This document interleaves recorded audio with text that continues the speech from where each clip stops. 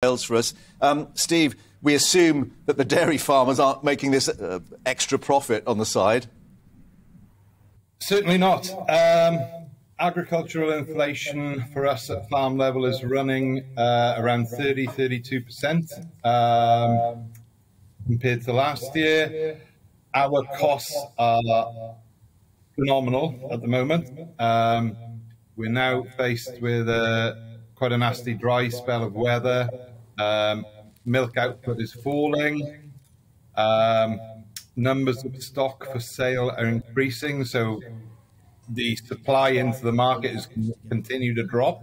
Yeah. Um, we're faced with some extremely tough decisions about this winter um, in terms of feed costs, um, things like that. So yeah, it's particularly challenging. Um, yes, our, uh, don't get me wrong, our milk price has gone up. We're, we're sort of getting 47, 48 pence per litre at the moment.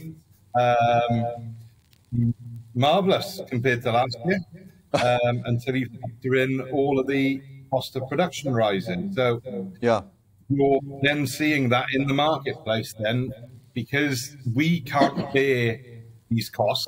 You know, we can't continue mining our balance sheet